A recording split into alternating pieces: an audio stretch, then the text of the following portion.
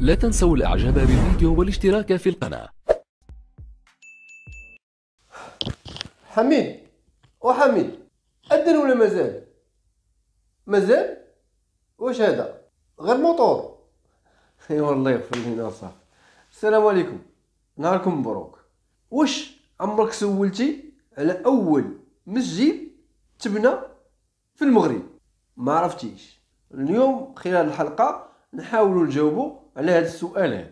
كيف تعرفوا أن المساجد في العهد الأول ديال الإسلام كان عندها واحد الدور كبير بزاف الدور التربوي هو اللي معروف عند الجميع الناس يمشيو يصليو يديو الصلوات الخمس وصلاة الجمعة وصلوات ديال الأعياد وغيرها من صلوات النوافل وقراءة القرآن اللي تيختاروا الناس أنهم يديوها في المساجد. حاجة أخرى شحال هذه في القديم كان المسجد أيضا كانت عنده أدوار اجتماعية تما في المسجد هو واحد القبلة تيتلاقوا فيها الأهل ديال الحي ولا أهل ديال المدينة يعني التشاور والتبادل. في العهد الأول ديال الأول ديال الإسلام المسجد كانت عنده أدوار سياسية.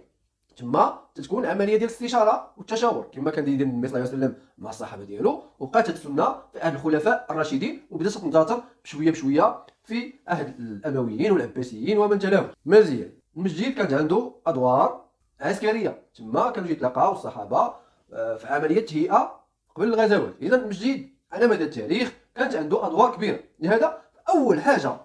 كان قام بها النبي صلى الله عليه وسلم بعد الهجرة ديالو من مكة المكرمة تجاه المدينة المنورة وهي بناء مسجد. شنو سميت هذاك المسجد؟ مسجد قباء. مسجد قباء اللي كاين في قريب المدينة المنورة.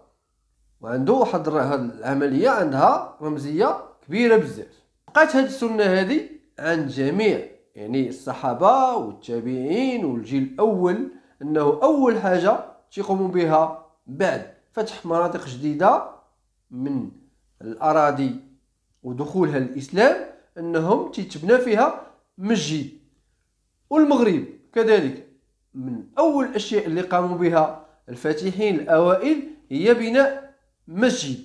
إذا غادي نبداو أول حاجة بالمغرب الكبير وبإفريقيا. هي تونس الحالية. أول ما قام به عقبة بن نافع بعد فتح إفريقيا بناء مسجد.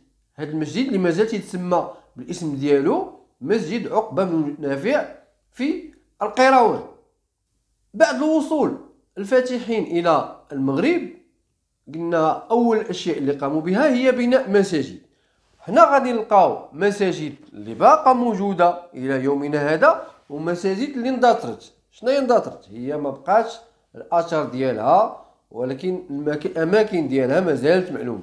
هنا غنتكلموا على عدة مساجد.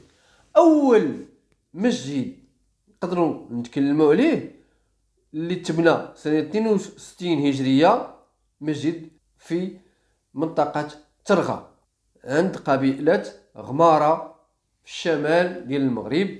هي في منطقة ديال الريف.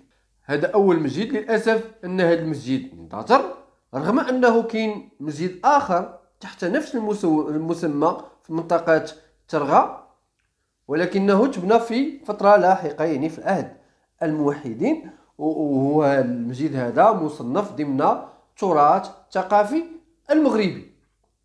ولكن ماشي هو مسجد ترغا اللي كان أول مسجد في المغرب. ثاني مسجد واللي مازال موجود إلى يومنا هذا.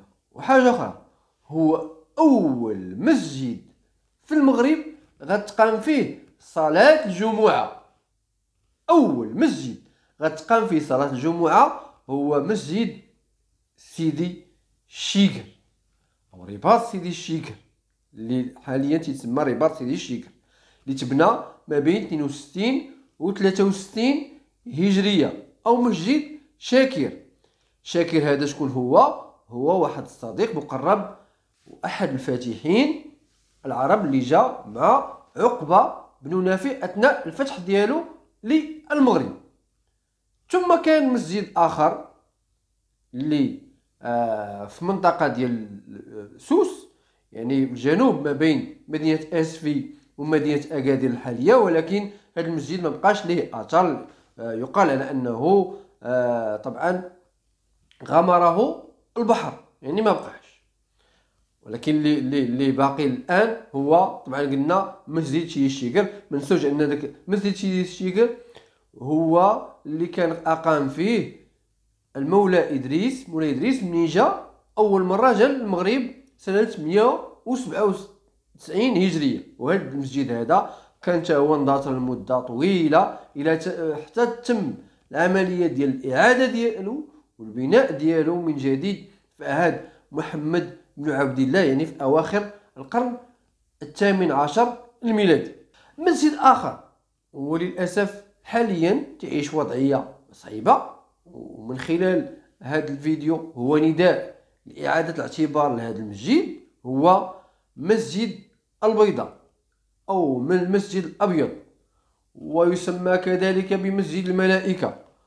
البناية ديالو ما زالت موجودة هو تيبعد على مدينة تطوان 30 كيلومتر في الشمال ديال ديال المغرب ولكن هو تهجر منذ الخمسينات أو الستينات القرن الماضي. ما بقاوش الناس يمشيو يصليو فيه لأنه بعيد على الدواوير المجاورة ليه. أنا غادي نخليكم تشوفوا واحد الفيديو اللي تيبين الحالة اللي وصلت ليها اللي وصل ليها هذا المسجد هذا. طبعا كيف تشوفوا هو على شكل مربع الطول ديالو 4 متر العلو ديالو 4 آه، متر آه، وفيه قبة كيف تلاحظوا وتبنى من من الجير ومن ومن الحصى لهذا فهو حاليا تعيش وضعية صعيبة. وهذا نداء هذا نداء للجميع لإعادة الاعتبار لهذا المسجد اللي هو تراث مغربي اللي هو من أول المساجد اللي تبنات في المغرب. تبنى تقريبا سنة خمسة وثمانين هجرية من طرف شكون؟ من طرف موسى بن نصير أو بأمر من موسى بن نصير. آه كيف تقول؟ المصادر. المسجد اللي هو معروف والشائع إلا دخلتوا الإنترنت الشائع غادي تلقاوه لأنه معروف أقدم مسجد في المغرب اللي هو في صراحة الأمر. ثالث مسجد مازال لا يعني مازال قائم إلى يومنا هذا هو مسجد اللي معروف مسجد الشرافات أو مسجد طارق بن زياد اللي تا هو بعيد بواحد 30 كيلومتر على مدينة شفشاون اتجاه نحو الأندلس وعلى يد تكون على يد طارق بن زياد تم فتح الأندلس. اذا هذا المسجد عنده دلالة كبيرة جدا. المسجد هذا حاليا ما آه إضافة إلى أنه مسجد وتتقام فيه صلاة الجمعة. أيضا هو فيه واحد المدرسة قرآنية عتيقة. يعني تيجيو لها الناس ديال المناطق المجاورة منطقة الشرفات والنواحي ديال مدينة شفشاون لطلب العلم ولحفظ القرآن. ويعد واحد المعلمة كبيرة اللي وجب أنه تحافظ عليها. طبعا تمت العملية إعادة البناء ديال مسجد طريق بن زياد تقريبا منذ الستينات القرن الماضي. وحاليا هو في واحد الحلة جميلة ولما لا في المستقبل تم العملية ديال إعادة التهيئه ديالو والتوسعه ديالو حتى يكون في أجمل وجه. إذا نتمنى نكون أنني جاوبت على السؤال ديال أول مسجد في المغرب ونقول نعاودوها بسرعة.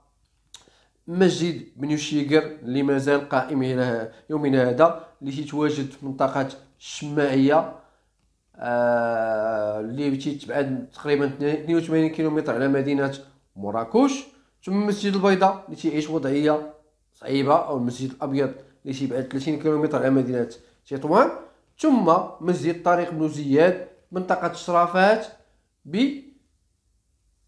بنواحي مدينة شفشاون طبعا حنا قلنا هضرنا على هذه القصة ديال المساجد وكل واحد فيكم عنده شي قصة مع مع مسجد سواء أنه ساهم في في بناء مسجد أو تنظيف مسجد ولكن الحاجة اللي ما تنساش لأي واحد هي أول مسجد صليتي فيه. اذا ما تنساش تكتب واحد التعليق تقول لنا فيه شكون شنو هو أول مسجد صليتي فيه.